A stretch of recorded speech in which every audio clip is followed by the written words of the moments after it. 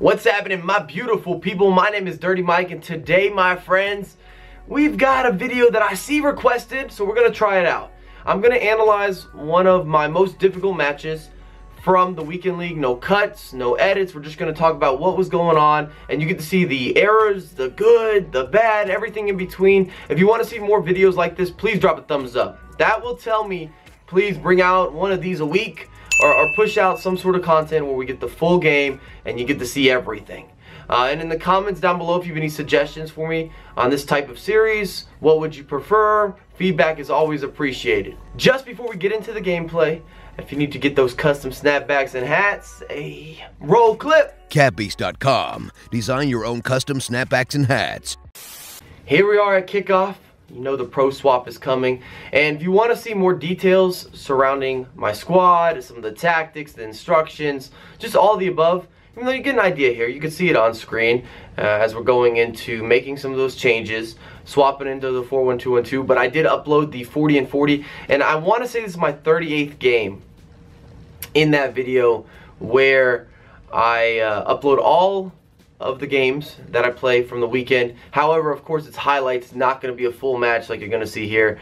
And my opponent's in that 4-3-3 that I showed at the beginning of this video, which tends to be a difficult matchup. It's all about how they play. But I thought this guy was good, uh, and it took me a long time to sort of get going. In the first, uh, I'm going to say the first, probably first 40 minutes, first 45 minutes maybe even, um, I'm definitely getting outplayed. He just looks a little more aggressive. Uh, I, one of the most difficult uh, issues, or one of the hardest uh, issues when you're looking at the, the, the weekend league, is being able to bring your consistent best gameplay over and over again. As you see, he's got a lot of guys in the box. First save for Manuel Neuer. Finesse shot didn't have enough oomph behind it. And one of my mistakes that I'm making early on in this game, you're going to see uh, a few examples as they as they show up. I was a little bit too direct in terms of not having some of the additional buildup that's kind of a characteristic of my game. And what I mean is I'm doing a pass pass through ball or a chip through ball I'm rushing just a tad bit. And it's fine to have that counter attack in some moments, but there's times where you need to be able to mix it up. Having that balance is crucial because it's it's no one way to play against everyone. There isn't a universal trick or a universal tip in, terms of being able to beat every single opponent, but I would always say defense wins championships. And oh, that's a big defensive mistake actually there from from myself. I stepped out my fullback, and then when I moved the center back, it left a lot of opening. It's a bad finish for my opponent. He could have been up 1-0. I should have been an across the body, probably a low driven or even a regular across the body. Uh, not the best defending on my end either from the corner kick. Way too much time. Another opportunity that he should do better with, but I appreciate uh, Neuer for being awake and making this happen. Uh, and, then, and then we kind of busted out of there. But you're going to see uh, just some moments of just being a little bit too direct. And when you're in the game, it's easy to get caught going too quickly or, and there's that chip through ball. Even though it's not a bad chip through ball, it's I, there's just higher percentage. Uh, and it's important to be able to, um, especially when you're in the higher games where you're up against elite opponents, you've got to, to make far less mistakes and try to go with the most efficient route anytime you're attacking. Uh, anytime you're defending and holding the ball is a great way to kind of shift the tempo, shift the momentum. Wasn't a bad idea there. Georgie Best didn't quite squeeze it out. And you're seeing me uh, trying to run back a lot with the midfield if possible, but you need to be able to switch players uh, very frequent. And something I brought up in uh, a, video recently where I talked about, I think it was the 40 and 40 actually, where I, I spoke about switching players uh, at a high, uh, I guess, not, I'm not going to say a high level, but at a high frequency on the defensive end where Yes, I've got a midfielder, I'm bringing back. Then I switch to another midfielder, I'm bringing back. Then I move a fullback a little bit this way. Then I move a center back a little bit this way. And you're going to notice it in the full gameplay, what I'm talking about. It's rare for me to stick on one or even two defenders or midfielders when I am trying to break up plays. It's just not going to work. Uh, you need to be frequently um, switching, swapping, moving, adjusting, uh, and making good judgments based on what your opponent's giving you. And you see for me, I still have not had a breakthrough, nothing clear just yet. Good decision there with the through ball. And often at the higher level in FUT champs, these decisions that you make, as you see with Griezmann there, wasn't the best work. Uh, where you have a little bit of space, what you do with that space is going to decide if you win or lose the game. Uh, at least, or, or if you're going to score or not score. Another poor move there from the corner kick. Uh, and I do score quite a few corners. I can't recall if I have one coming up soon or not in this game. I don't want to throw any spoilers out there. But you see, he kind of counters me uh, off my corner kick, which is just one of those features in FIFA that drives me crazy. And yep, it ends up being a true counter as he scores. Suarez kind of has the shield while he's turning. Uh, and it, it's, it's a great maneuver there. And I just bite wrong. I don't know if it was Vieira in the box that was switched on to Suarez. It looks like Vieira. Yeah, he's got just a little bit of a shield touch, and you can see it. His arm is extended just a tad bit. So I couldn't reach in front of him, and my timing was off. And FIFA's a game about rhythm. Uh, if your rhythm is good, then everything's flowing nicely. Kind of a risky pass there. Sometimes Ronaldo will come up with that. I wanted a quick rebuttal. It wasn't happening. I don't think I've had a shot to this point. And I would say my opponent, as you can see a couple little skill moves, he's feeling a little bit better right now. He's feeling a little more confident. Uh, and that's something you got to put a stop to.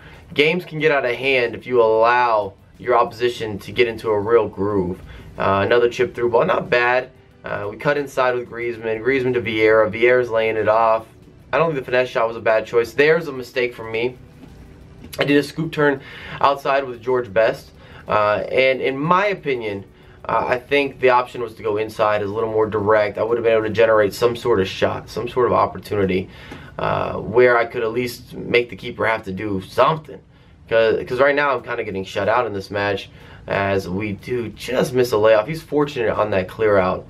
Uh, not the best material uh, from him in terms of choices uh, out of the back. And this guy's not overly killing me on the wings, but is he using the wings in the build-up? Absolutely.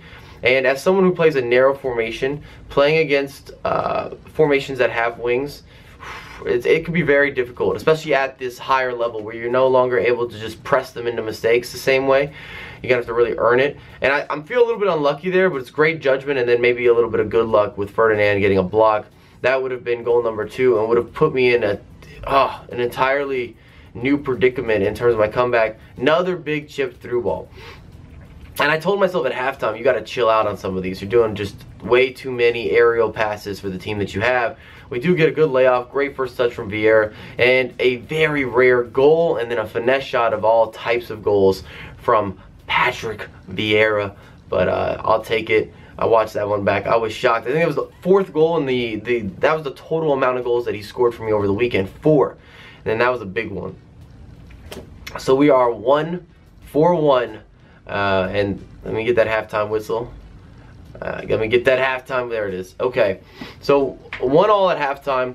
Not deserved, um, at least in, in, my mind. He didn't take his chances that well. I got a couple big time blocks, but overall, not a great first half for me. I deserved to be down a goal, or in this case, I'm drawn even. I did take my chance well. At the end of the day, I always talk about composure. Uh, I always talk about being able to finish and then defense kind of winning championships. For the most part, my defense was more bend and not break. I didn't give up breakaways. I didn't give up wide open, all by himself. That didn't happen. But they did have, or my opponent did have 50-50s that he could do a lot better. In my opinion. Uh, and now we're going into the second half. No changes. I'm hoping just, man, come out of the second half with a little bit better uh, better gameplay, get it together. And he almost starts with some decent shielding there from the kickoff. Uh, and here's another corner kick. I was really disappointed in some of my corner kick defense. Um, this one's a little bit better. At least I've Gullit chasing down. Oh, never mind. I thought it was going to be a little bit better. Oh, jeez. That, yeah, that is a gamble right there. I was in the right place with Gullit. That's why I assumed that this was going to be better defending from yours truly. But after I missed that tackle, I knew we had trouble. See, all these defender blocks and kind of YOLO clearances from a goalkeeper, that's not what you want to see. That's not good gameplay. It's not high percentage. It went my favor uh, in this game or so far in this match, but it's not good. It's not something I would teach. I wouldn't recommend it. As you see, we're still trying to kind of hit these counters. Uh, there's a mistake from our opponent, though. That's what I'm talking about. I mean, at the end of the day, playing FIFA is often whoever makes the fewest amount of mistakes will win on a higher consistency. It's too bad right there. I think Pogba's offsides. Yeah, just a tad bit because we did get a nice layoff. Ruud Gullit in that position. 100% it's going to be on frame. Uh, will it go in? I'd say there's a good solid chance. Left foot inside the box. Nice step from uh, Laurent Blanc. Um, and we're still working. A little more on the ground game though if you're seeing this. I know there's gonna be a little pooch chip but that's much better than those big chip through balls. And he's he's fortunate. That was a warning sign to my opponent because he was trying to uh, or he had stepped up with Smalling and ends up kind of hitting him in the body. And see another good good good ball. Decent. We got a shot a lot earlier in this half compared to the first half. So we were warming on into it. Corner kick a little more of my typical ex execution. We get the drop off Ronaldo Ronaldo does what he Ronaldo does. And at this point, I knew my opponent had to be mad. I had to be a little bit, uh, a little bit on the salty side because he's it just came off a half where he kind of outplayed me, but I got a goal in the 45th minute. Uh, and then in the second half, I wouldn't say that he's outplayed me, but he, he, was pressuring, and now here we go, we got a corner kick. You know, I didn't get a, a goal from the run of play, and I decided to pause the game. I was like, look, sometimes I like to coast with the momentum, but I felt like this guy's good go into a 4-2-3-1. He's playing a wide formation. Uh, a 4-2-3-1 matches a 4-3-3 pretty well. Uh, it takes away a lot of the wings. And then you also open up wing counters on your own.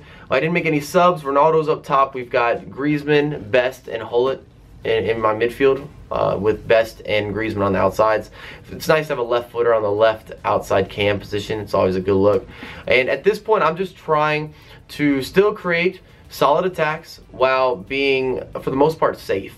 I don't want to lose a game off gifts. And speaking of gifts, literally just after the pause, almost messed that up. Passed to Ronaldo, Ronaldo to Ruud Gullit. Ruud Gullit's always gonna slot that into the back of the net.